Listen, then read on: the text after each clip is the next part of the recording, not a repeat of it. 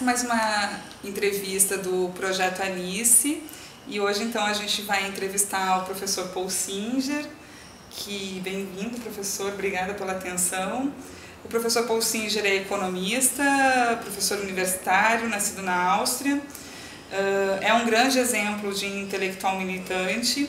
Antes mesmo de sua carreira acadêmica, já havia um grande envolvimento político em sua trajetória, como migrante refugiado, como trabalhador militante dos sindicatos metalúrgicos de São Paulo. Nesta, nesta ocasião, participou da histórica greve dos 300 mil, que paralisou a indústria paulistana por mais de um mês em 1953. Trabalhando com o professor Mário Wagner Vieira da Cunha, deu início à sua vida acadêmica em 1960. Em 1969, foi aposentado compulsoriamente. Seus feitos políticos foram muitos um dos fundadores do SEBRAP, que se constituiu um importante núcleo de inteligência brasileira de oposição à ditadura militar, um dos fundadores do Partido dos Trabalhadores, o PT, foi secretário do Planejamento do município de São Paulo e atualmente é secretário nacional de Economia Solidária. Marxista de formação, foi revisando suas leituras e incorporando a economia solidária como uma proposta de trabalho libertador. É uma das principais referências da economia solidária na América Latina, tanto no campo acadêmico como no campo político.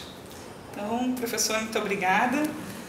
Professor, esta é uma semana muito significativa para o Brasil, né? Há exatos 50 anos vivemos o golpe de 64 e a ditadura foi instalada no Brasil. Como o senhor avalia a atual e recente democracia brasileira, né? Quais os avanços e quais os limites dessa democracia? No período pouco anterior ao golpe, Celso Furtado escreveu um livro que ele chamou A Pré-Revolução Brasileira. E não, o, o, título é bem próprio, não chegou a haver uma revolução, mas houve, é, por exemplo, um grande movimento de reforma agrária de baixo, a partir de, de, de, dos trabalhadores do campo, chamadas ligas camponesas, que nasceram em, em Pernambuco, e depois se difundiram pelo Brasil. E houve um período de ocupação de terras pouco utilizadas nos latifúndios, choques com os latifundiários, enfim, esse foi provavelmente o aspecto mais revolucionário da época, mas havia muita greve também, organização de sindicatos, centrais sindicais que não eram permitidas por lei na época, mas eram fato criadas pelos sindicatos. Enfim, eu diria de que havia um processo de transformação social e aprofundamento social, vamos dizer assim, da democracia no país, que o golpe militar interrompeu totalmente. Essa, essa interrupção foi feita à força. Um movimento por exemplo, houve um movimento estudantil pela reforma da universidade que acabou acontecendo e democratizou a universidade, que era extremamente é, conservadora no Brasil, tinha professores catedráticos, que eram senhores feudais dentro da, da universidade. Enfim, houve transformações. Eu considero a atual democracia de reconquistada a partir de 1985 a continuação dessa que foi interrompida. Foram 21 anos de interrupção, mas as pessoas continuam existindo e aspirando transformações. De modo que, apesar dos 21 anos de interrupção, eu sinto como se aquele movimento barrado e, e reprimido retorna à superfície a partir de, de tanto assim que a, a Constituição de 1988 é a mais avançada que o Brasil já teve. Só aconteceu porque aquilo que foi reprimido em 1964, em 88, 24 anos depois, volta com muita força à superfície um, um dos, dos, avanços, eu diria, extraordinários da, da Constituição de 88 é a, a, a, declaração de que saúde e educação são direitos do cidadão e do Estado. Significa que a Constituição socializou esses dois serviços são realmente fundamentais para a vida humana naturalmente. Mas é só um exemplo, a Constituição tem muitos outros pontos em que houve realmente avanço. Ok. É, uma das primeiras coisas que eu ouvi o senhor falar no final dos anos 90, período de uma forte reestruturação produtiva no Brasil, é que as pessoas tinham muito mais condições de contrapor a lógica capitalista se estivessem organizadas de forma coletiva do que individualmente. Naquela época, o senhor já defendia a ação direta dos trabalhadores no campo político e no campo econômico como via de construir uma outra economia e uma outra sociedade. Alguns anos se passaram e a questão é: o senhor ainda entende a economia solidária como uma ação direta capaz de contrapor e impactar o sistema capitalista? Sim. Eu, pelo contrário, eu estou mais convencido do que estava antes, porque antes era uma hipótese. E eu não tinha suficiente conhecimento da realidade do movimento cooperativo, que era mais ou menos o que eu estava imaginando que poderia acontecer. Hoje que eu conheço muito mais, temos sido convidado e participado de reuniões da Aliança Cooperativa Internacional, que aliás adotou totalmente a economia solidária, uhum. Colocam a economia solidária como sinônimo de cooperativismo, coisa que me deixa bastante contente. Mas aí, hoje, não há dúvida nenhuma que é isso que você falou, ou seja, é uma transformação no capitalismo, há uma nova classe social. As classes sociais fundamentais do capitalismo são os capitalistas e os seus assalariados. Mas há evidentemente, um grande volume de microempresários, é, enfim, gente que trabalha por conta própria e associações. Mas é, hoje surge uma nova classe social. Trabalhadores que trabalham associadamente em grandes empresas. Eu, isso é uma coisa que está tá acontecendo. Já havia desde a época de Marx minas de carvão na época de Marx que faliam eram compradas pelas cooperativas de consumo dos trabalhadores das minas. Eles tinham fundos para isso. E faziam com que as minas voltassem a funcionar. E hoje tem uma lei na, na, Itália dando um apoio muito forte às empresas que, que quebram quando podem ser assumidas pelos seus ex-empregados. Apoio financeiro, apoio tecnológico e assim por diante. A chamada Lei Marcora, acho que é o nome do, do parlamentar. E, mas hoje há um movimento na Europa inteira, na, França, na Espanha, assim por diante, nessa mesma direção. De modo que eu diria, há evidências econômicas, políticas, sociais, que isso está acontecendo, não, é meramente uma hipótese. Ok. Professor, há uma vertente essencialmente crítica que trata a economia solidária e as ilusões né, do socialismo utópico, identificando com as críticas de Marx da Proudhon em Miséria da Filosofia e de Rosa Barenstein Reforma e Revolução. São muitas as teses que tratam a economia solidária apenas como inclusão produtiva, paliativa ao desemprego e mera reprodução capitalista. Como o senhor responde a estas concepções? Né? Eu respondo com uma pergunta: onde é que eles viram a reprodução das relações de produção, relações sociais de produção na economia solidária? A economia solidária foi concebida por trabalhadores que perderam o emprego por fazerem greve estou me referindo aos próprios pioneiros de Rochdale. Mas a história das cooperativas é exatamente essa, é um resultado muito de classes.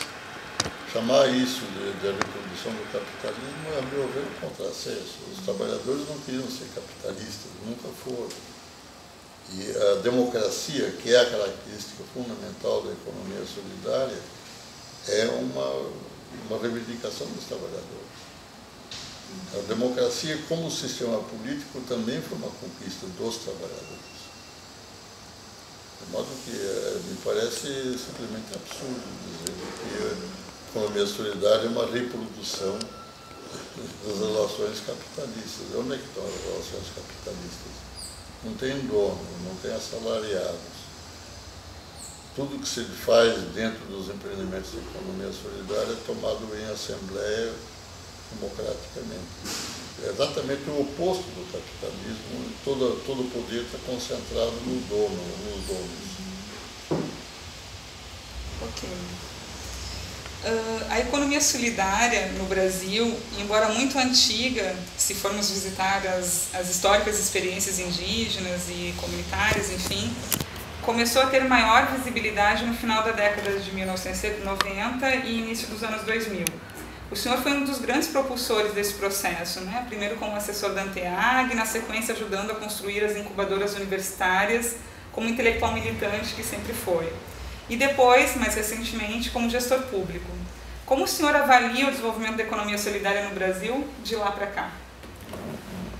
Olha, a economia solidária surge no Brasil nos anos 80, é, numa crise econômica e financeira das mais graves da história do capitalismo. Né? E, sob certos aspectos, foi mais grave que a dos anos 30 ela foi o resultado de dois choques do petróleo enormes. O preço do petróleo foi lá para o céu, não havia substituto do petróleo, isso causou impactos inflacionários no mundo inteiro. A década de 70 foi uma década de crises, por causa dos dois choques do petróleo, em 1974 e depois em 1979. E o Brasil foi inteiramente polido por essa crise, porque nós éramos importadores de petróleo. Né? Ainda em 74, a produção nossa de petróleo era quase simbólica. Nós importávamos, eu diria, acho que mais de 90% do petróleo necessário. O preço, de repente, quintuplica. Foi um conflito é, entre os países árabes e os judeus, importa nos pegou e pegou toda a América Latina, deu aquela enorme crise das chamadas dívidas externas. Os países ficaram inadimplentes, inclusive o Brasil. E a pressão sobre o Brasil foi muito semelhante ao que aconteceu agora na Europa, ou seja, todos os países latino-americanos foram obrigados, de certa forma, coagidos a fazer políticas de austeridade isso significa é, desemprego em massa. Exceção, desemprego em massa. O que está acontecendo hoje na Grécia, na Espanha e, e, e outros países, Portugal também, e Itália, e França, enfim, tantos países, aconteceu na Argentina, no Brasil e nos outros países, que deu depois ditaduras militares, ou já tinha dado antes, como no nosso caso. E a economia solidária foi uma defesa dos trabalhadores, perderam tudo, o emprego, a casa, as famílias foram morar na rua, ou então nas favelas. Isso eu vivi porque eu era secretário de planejamento nessa época de São Paulo e a gente não tinha solução nenhuma, não sabia o que fazer. Agora a gente sabe. Mas quem nos mostrou que era possível fazer alguma coisa, organizando as vítimas para se reabilitar e assim por diante foi a igreja. E a Caritas. A Caritas obteve recursos das outras Caritas europeias e também dos Estados Unidos e fez um programa que eles chamaram de Projetos Alternativos Comunitários, PACs, que eh, praticamente eh, levou à criação de milhares de cooperativas, cooperativas de trabalho. A economia solidária foi descoberta quando eu deduzi de que era possível fazer algo assim, foi isso em 1996, quando a Luísa Rondina, que tinha sido a prefeita, voltou a ser candidata a prefeita. E eu tomei conhecimento de manhã, eu ia para o banho, foi um, um, um insight que me deu no banho meu.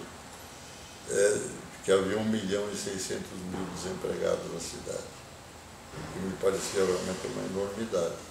Não tínhamos nenhum auxílio a desempregados. O país nunca tinha tido desemprego. Eu me lembro, eu mesmo, né, não nasci aqui, mas cheguei pequenininho, estudei aqui, etc., problema de desemprego não havia. Quem perdia o emprego em algumas semanas ou menos até conseguia outro, podia até escolher. E dessa vez havia desemprego em massa, assim, milhões de pessoas, fala assim, 6 milhões de pessoas que perderam, na, na indústria principalmente, o seu, o seu trabalho. Então, é, eu, eu, fiz um artigo para a Folha dizendo um caminho não capitalista para combater o desemprego, alguma coisa assim, achando que se a, Dilma, se a Lubina fosse eleita de novo, como eleita, prefeita eleita numa cidade enorme em crise, ela teria autoridade política de organizar os, os desempregados. Essa era a proposta que eu fazia em inúmeras cooperativas, tantas quanto os trabalhadores quisessem formar, e com uma moeda social que permitisse que eles fizessem trocas. Um produziria botas, outro produziria comida, outro produziria, sei lá, material de construção. Você podia colocar milhares de pessoas trabalhando e consumindo. O, o desemprego não permitia uma coisa nem outra. E aí comecei a receber respostas já pela internet, dizendo, olha, isso que está propondo a gente está tá fazendo. Hum, já acontecia, né? Já acontecia, já acontecia. Inclusive, o moeda social dos Estados Unidos, clubes de troca, nada disso eu conhecia. Uhum. Eu acabei tomando conhecimento. Eu não inventei a economia solidária, ela estava acontecendo. Uhum. Mas, obviamente, me engajei nisso, já que eu tive a ideia. Uhum ter inventado, vamos dizer, a posteriori, a economia solidária, me empenhei nela, porque, enfim, eu acho que é mesmo uma forma revolucionária. Na sequência, professor, né, o senhor assumiu a Secretaria Nacional de Economia Solidária e teve a oportunidade de é, fomentar essa política da forma como Sim. o senhor idealizou mais é, anteriormente e, assim, qual, qual, como o senhor vê o avanço dessa economia solidária desde o início da, da Secretaria Nacional para cá? Enfim, né? Bom, já havia um movimento, tanto já havia que é, quando é, Lula fez uma reunião uma vez lá no PT para discutir o que fazer em relação a esse enorme desemprego, o Plínio da Sampaio, e até hoje era do PSOL e tal, mas era do PT na época, tinha proposto fazer uma greve, uma greve geral contra o desemprego. Porque era uma proposta interessante, mas ao mesmo tempo absurda. Porque as pessoas desempregadas não podem fazer greve, não tem contra quem fazer a greve. E os que estiver, tinham um emprego ainda, se fizessem greve, era uma ótima oportunidade para mandá-los embora justa causa e assim por diante. numa época de enorme desemprego, você pode fazer greve. A greve não é a arma, é, é um tiro no pé. Eu sei que nós discutimos isso, etc. E eu tive, então, é, a ocasião de falar do que a gente pretendia, mas era bem no comecinho da, da economia solidária, inclusive eu não tinha tomado muito contato ainda. Economia socialista, né? que é o o livro oriundo né, do debate é. que teve dentro do PT uhum. com João Machado. Exatamente. Né? Isso foi um, um, pouquinho depois e, enfim, o PT assumiu a economia solidária, assumiu totalmente. Uhum. É, quase não houve discordância. O, seminário em que eu falei diretamente sobre economia socialista, o Lula estava lá, o Zé Disseu, enfim, toda, toda a cúpula e não houve discordância maior a esse respeito, curiosamente não houve. E depois, em reuniões, eh, o partido assumiu e o Lula me pediu para escrever a, a parte sobre a economia solidária do programa dele a presidente. Ele foi eleito em 2012 e tem um compromisso público com a economia solidária. E nós, ou seja, o movimento pediu que ele fizesse uma secretaria no Ministério do Trabalho. Isso também deu divergência no movimento, houve, houve votos, mas enfim. E eu não pude participar dessa reunião. Acredito que o principal efeito quantitativo foi esse. Quer dizer, a economia solidária cresceu muito, em apoio agora, inclusive financeiro. E agora com a Dilma estamos é, profundamente envolvidos no programa Brasil Sem Miséria. Então, a economia solidária está crescendo na medida que nós conseguimos resgatar da pobreza comunidades de gente muito pobre, no Brasil inteiro. A, ação da Secretaria Nacional de Economia Solidária no Brasil, sem miséria, é a inclusão produtiva urbana, curiosamente, nas cidades.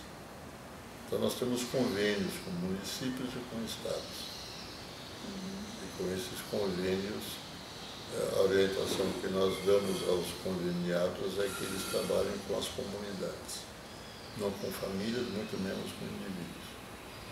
Porque os pobres se, se, se agregam, eles precisam se agregar, são muito frágeis. Pobre isolado é quase condenado à morte. No momento que, sei lá, acaba o dinheiro, não tem, ele morre de fome. E para além da, da questão da inclusão produtiva, o movimento, o Fórum Brasileiro tem pautado muito na economia solidária como perspectiva de desenvolvimento, né? É. Isso é o debate, enfim. Como que a política pública dialoga com essa, com essa questão também, que é a aspiração do movimento, né? Da economia solidária para além da inclusão produtiva, né? Não, é, é, é uma política nossa, é do movimento Olha, todas as nossas políticas são as políticas do movimento. Nós não fizemos nenhuma das políticas sem consultar antes, sem discutir, porque seria absurdo. Dizer, nós estamos com um movimento vivo, querendo apoiar e difundi-lo, e a gente vai fazer as políticas no gabinete, não faria sentido. E de fato não há necessidade, quer dizer, nós fizemos isso sempre em estreita comunhão com o próprio movimento. Agora, desenvolvimento local é a nossa principal tática. Porque se você organizar a comunidade, é, por autogestão, ela pode efetivamente promover o seu desenvolvimento econômico. Claro, com apoio do governo. Mas o governo tem uma porção de programas, tem governos, tem programas federais, estaduais e municipais. O programa Territórios da Cidadania é, coordena os três níveis de governo para apoiar as comunidades que almejam planejamento, é, seu, seu desenvolvimento, sem capital, sem, porque o, o passado, a história passada brasileira, é que o desenvolvimento sempre é, é vindo de fora para dentro, é o chamado é, o desenvolvimento externo. São capitalistas que investem em alguma coisa, constroem uma estrada, o hotel ou uma empresa, e aí começa o desenvolvimento na área. É, o endodesenvolvimento, o desenvolvimento que vem de dentro, é, foi uma, uma proposta do, do Chaves, do Chaves, para a Venezuela, que a gente acolheu com muita alegria, porque era exatamente isso que a gente achava que era possível fazer. E está sendo feito. Professor, é, uma das reflexões do professor Boaventura trata o Estado como um novíssimo movimento social, que procura articular a lógica da reciprocidade própria do princípio de comunidade com a lógica da cidadania própria do princípio de Estado. Este Estado, como novíssimo movimento social, também se caracteriza pelo fato de que algumas lideranças da sociedade civil, dos movimentos sociais, também se tornam gestores das políticas públicas. O senhor está nessa condição, não é mesmo? O seu nome foi legitimado pelo Movimento de Economia Solidária no Brasil para estar à frente da Secretaria Nacional de Economia Solidária. Né? O, o, Fórum Brasileiro de Economia Solidária é, é quase irmão gêmeo né, da Secretaria de, Nacional de Economia Solidária. É quase, não, é, nós é, no mesmo junto, dia. no mesmo dia. Né? É. Como o senhor percebe essa condição? Né? Como lidar com o fato de ser movimento e também ser Estado, sobretudo que nem sempre as inspirações do movimento são as mesmas do Estado e vice-versa. Né? A pergunta é importante e não é nova para mim, porque tem havido orçamentos, tem havido divisões também, não entre o Estado e o movimento, mas dentro do movimento. por razões políticas, inclusive, das diferentes alas do Partido Trabalhadores, dentro da CUT. É, eu devo chamar a atenção de que a economia solidária é um movimento de movimentos. O movimento feminista é da economia solidária. O movimento negro, sobretudo os quilombos, uhum. são parte da economia solidária. Os indígenas, o movimento indigenista, é parte da economia solidária. Há muitos movimentos sociais. Agroecologia, agricultura Sim, claro, jovens, enfim. E, e, a gente vê isso com enorme alegria. Eu acho que a ideia do, do professor Boaventura é, é bastante interessante. Não só porque eu estou vivendo esse duplo papel, agora é um papel eu diria, em democracia do tipo que nós temos no Brasil, relativamente fácil. Não tem sido problemas para nós. Por exemplo, nós fazemos os. Uh, vou dar alguns exemplos. Nós uh, criamos a secretaria com o Conselho Nacional que existe que é vital para nós hoje. E uh, colocamos no, no projeto. E foi aprovado na lei portanto é lei. E uh, como levou muito tempo para a lei ser aprovada e assim por diante, o Conselho não foi criado imediatamente, ele foi criado apenas em 2006. E nós fomos criados em 2003. Ele levou três anos. Por quê? Porque o movimento tinha uma relação conosco direta. Nós tínhamos grupos de trabalho para os diferentes tópicos eh, em que havia pessoas da secretaria e pessoas do movimento.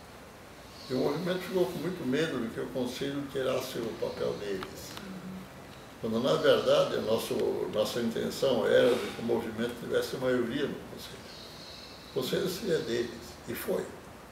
Foi assim mesmo. É, hoje o Conselho é mais da metade são, é o movimento. É, o Fórum Brasileiro de Economia Solidária, os delegados do Fórum são mais de 50% do Conselho. Não, não tem problema com isso.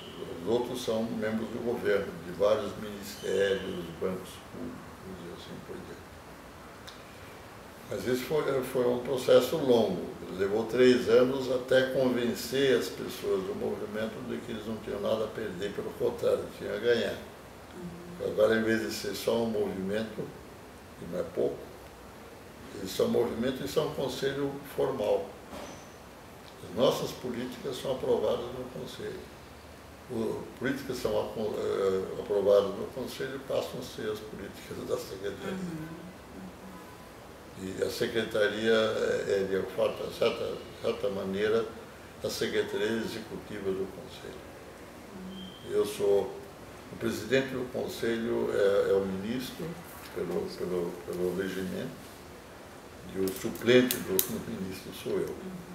Os outros todos, os, os, ministros que eram do PT, na verdade, agora são do PDT, é, jamais vinham ao Conselho. Mas porque eu sempre presidi o Conselho, uhum. em nome do ministro, porque eles não, não tinham tempo. Ou vinham, ficavam 10, 15 minutos, faziam uma, uma fala ouviam alguma coisa dos membros do conselho, depois tinham que fazer outras coisas e iam embora. O atual ministro, pela primeira vez, eh, faz questão de comparecer, fica nas reuniões, ouve, virá agora a São Paulo, por isso que eu recebi esse telefonema, para participar do, eh, da conferência municipal. municipal de São Paulo de Economia Solidária. Pela primeira vez temos um ministro engajado na economia solidária, não meramente. Porque eles não foram negativos para nós, não nos, não nos prejudicaram, geralmente atenderam nossas necessidades, enfim, não tenho queixo nenhum deles. Agora, esse atual nosso ministro, que é do PDT, ele tem sido mais ativo. Tem sido muito mais ativo, tem ido para Santa Maria, para a Feira Internacional de Economia Solidária, que acontece todo ano lá, ele foi da última vez. Ele se encantou com a sociedade. Ele é um militante de esquerda, ele me contou a vida dele. Muito jovem, foi eleito vereador, era um brisolista. Uhum. Ok. Professor, é, como uma referência da economia solidária e das outras economias, não só no Brasil, mas no mundo, o senhor tem viajado bastante e visto muitas experiências, né? Recentemente o senhor participou do encontro internacional da RIPS, né, a Rede Intercontinental de Promoção à Economia Social e Solidária, nas Filipinas. Como o senhor percebe o avanço dessas outras economias no mundo? Eu diria que há um aspecto que, eh, de certa forma, me surpreende, porque são culturas muito diferentes e Curiosamente, como há pouco falamos, a igreja tem uma presença grande na economia solidária brasileira, a igreja católica. Uhum. Eu acho que igrejas eh, evangélicas, vamos dizer, mais progressistas também. A religião tem, tem algo a ver. Não que a economia solidária seja uma religião, ela não é, mas tem valores éticos. Uhum. Exemplo, uma das campanhas da fraternidade, são muito importantes, né? foi a respeito do dinheiro. E essa, essa campanha de dizer de que é preciso ou, ou servir a Deus ou servir ao dinheiro, essa foi a, a forma de fazer a campanha, acabou sendo uma campanha de legitimação da economia solidária, porque na economia solidária o dinheiro não pesa. Não é a finalidade como no capitalismo. O fato concreto é de que é, nos países asiáticos, é, principalmente de, boa presença budista, a economia solidária tem é, muita força. No Bangladesh, na Índia, é, nas Filipinas, na Malásia. E, tive uma experiência pessoal, e agora vou ter que falar disso, com a proposta da felicidade interna bruta do Butão. Estive inclusive no próprio Butão, conheci o governo do Butão, estive por uma semana só, mas foi muito interessante. Os valores da, da, da, da igreja, enfim, da religião budista, é, são praticamente idênticas à teologia de libertação muita importância a questão ambiental, evidentemente, a proteção da natureza, todos os seres vivos, enfim. É, é, é muito fascinante o fato de que a economia solidária, estando hoje presente em culturas muito diferentes, países com culturas diferentes, não só a religião, a religião é a mais visível, mas tem outras formas também. Não é? Outras histórias. E os princípios são praticamente comuns. Uhum. Poderia haver, sobre o nome de economia solidária, coisas razoavelmente diferentes, não me surpreenderia. Uhum. A surpresa para mim é de que não há essas diferenças. É muito, muito, muito semelhante. São geralmente pessoas religiosas, pelo menos o Bentignones. Bentignones é o principal líder da, da economia solidária nas Filipinas. Eu o vejo assim, quando eu estive lá, ele foi extremamente hospedeiro, me mostrou a cidade, me deu livros de presente, livros dele sobre economia solidária na Ásia. E, e tive a forte impressão de que eh, nossas ideias são mesmas. A economia solidária brasileira, a economia solidária nas Filipinas, e nos outros países do sul da Ásia, onde ela já está bastante, inclusive a Coreia. Uhum. Pode ter de, de, de, diferentes formas, mas eu diria no fundamento é, é visto mesmo como uma alternativa ao capitalismo. Uma alternativa preferível. Então, na sua leitura, essas outras economias estão emergindo né, no mundo, não só na América Latina, mas tem Não, outras, é, no início pensávamos que era na América, mas não na América Latina só, porque era muito forte no Canadá. Uhum. É tão interessante isso. Né? Na, na, no Canadá francês. existe cooperativismo também bastante forte no Canadá inglês. Mas o mais forte é o grupo Desjardins, é, é, é um, uma cooperativa de, de, de crédito que tem milhões de, de sócios, é o quarto maior grupo financeiro do Canadá só que é inteiramente infenso às crises, não é afetada por crise nenhuma, porque não especula.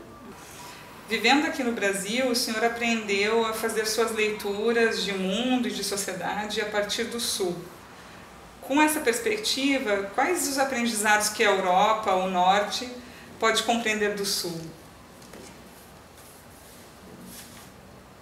Não é fácil responder a isso, de vez em quando eu me pergunto, estou ficando velho, e todo mundo fica velho, mas eu estou bastante velho. Não imaginava que chegaria a essa idade. Aí é, é fato, essa pergunta sua me vem à tona de vez em quando. Eu sou um europeu, ou deixei de ser, eu me sinto brasileiro. Uhum. Mas ao mesmo tempo eu me sinto é, acolhido pelo Brasil. Eu sou grato ao Brasil, eu gosto dos brasileiros. Gosto mesmo, gosto do tipo de brasileiros que são extremamente simpáticos às pessoas que têm necessidade. O brasileiro é generoso.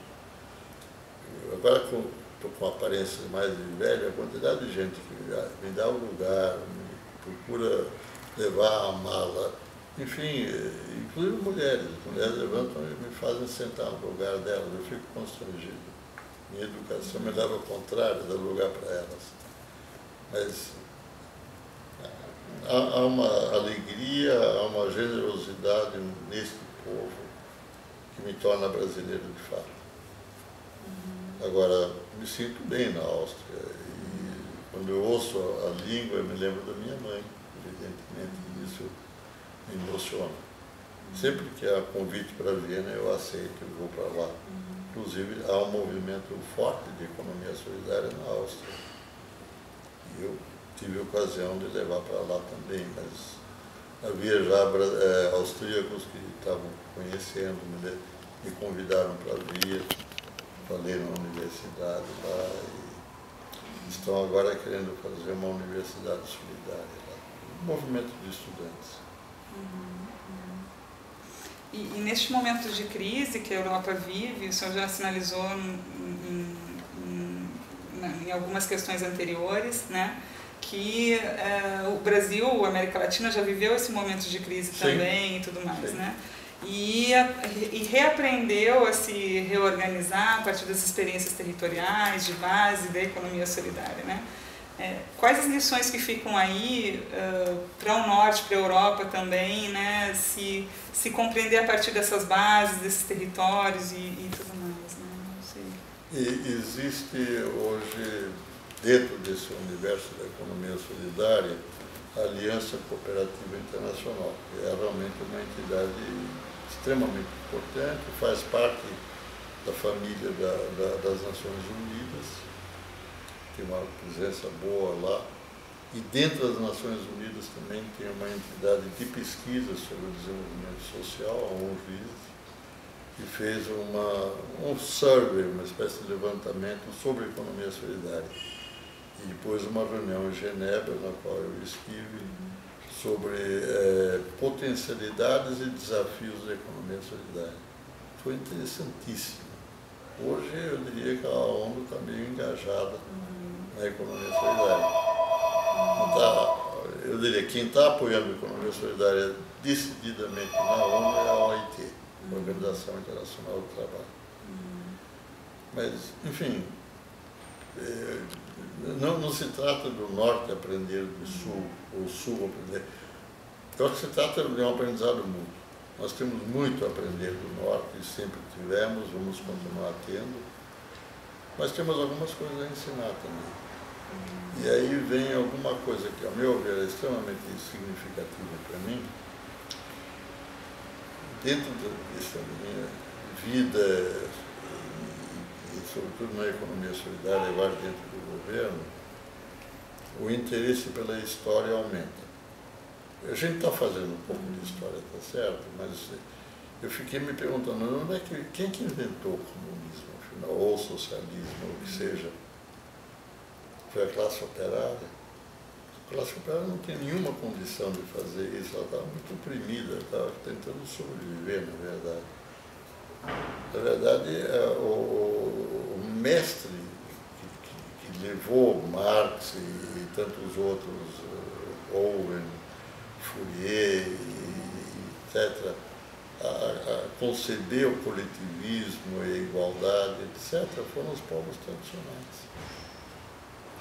Todos os povos tradicionais são comunistas. Os africanos, os asiáticos, os latino-americanos, os europeus, que ainda tem alguns, é uma coisa, é uma parte da história da humanidade. Éramos todos, para conseguir sobreviver com outras espécies animais muito mais poderosas do que nós, homens, nos unindo. Isso é uma tese de um velho anarquista muito importante, do príncipe Kropotkin, não sei se ouviu falar dele. Hum. Kropotkin era um russo, era um príncipe russo, geógrafo, cientista e que foi anarquista, tornou-se anarquista. É, e escreveu um livro que eu diria extremamente importante, chamado Ajuda Mútua, ele faz exatamente esse levantamento histórico, antropológico, uhum. a partir de Darwin. E escreveu em, em, capítulos, e agora é um livro que está sendo usado, etc. Eu acho muito bom, muito interessante.